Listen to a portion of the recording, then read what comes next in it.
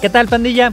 Hoy les traigo los últimos detalles que me comentaron directamente en el stand Itálica en el SIM 2016 sobre estos dos modelos que han causado tanto revuelo y una de las preguntas que más me hicieron era respecto a los precios. Entonces vámonos primero con la Vortex 650, nombre que recibió en México, ya que este modelo de Lonsin lo pueden encontrar con el nombre LX650, una moto que monta el mismo motor de la BMW GS650, el cual es de inyección y refrigerado por líquido. El precio que me comentaron que tendrá esta moto es de 99 mil pesos si ese precio queda como el de lanzamiento, me parece que podría ser una buena opción de compra en base a todas sus especificaciones, tomando en cuenta que ya es un motor probado, unos frenos firmados por Nissin y la incorporación de llantas Pirelli. Se pondrá en venta el mes de diciembre de este año. No me confirmaron si a principios o finales, pero sí me adelantaron que estará de venta solo en Liverpool, cosa que era de esperarse, puesto que lo mismo pasó con la RT 250 y la Voltium, que ya la puedes ver en esta tienda departamental desde la semana anterior.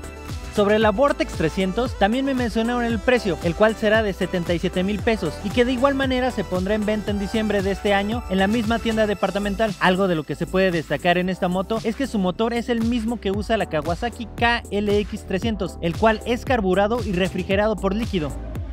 Pues ahí tienen chavos los últimos datos de estos modelos de Itálica que se vienen para diciembre. Al parecer pintan bastante bien y va a estar interesante poder hacer las pruebas y reviews de estas apuestas de la marca a un segmento diferente del que ya nos tenían acostumbrados.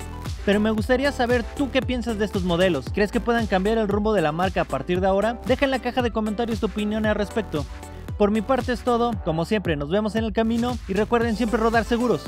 Hasta el próximo Video Express.